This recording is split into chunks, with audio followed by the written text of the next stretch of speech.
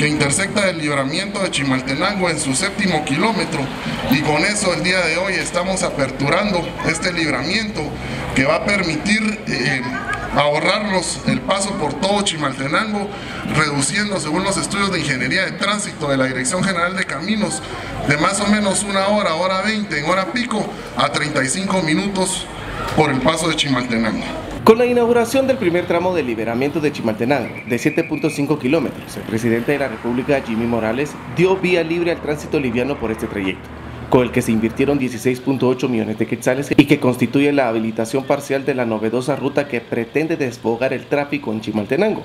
Ya lo ven ustedes a cuatro carriles, dos hacia la capital y dos hacia nuestro lindo occidente.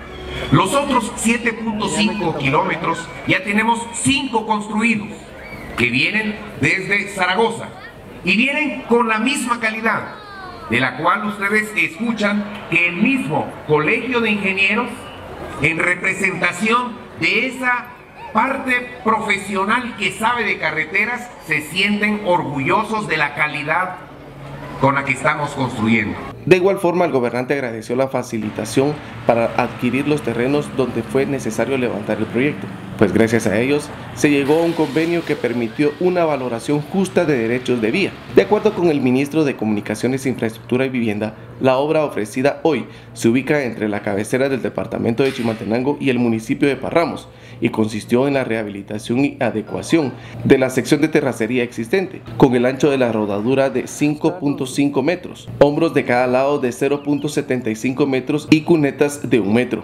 Decir que el departamento de Chimaltenango ha sido priorizado por el gobierno del presidente Jimmy Morales.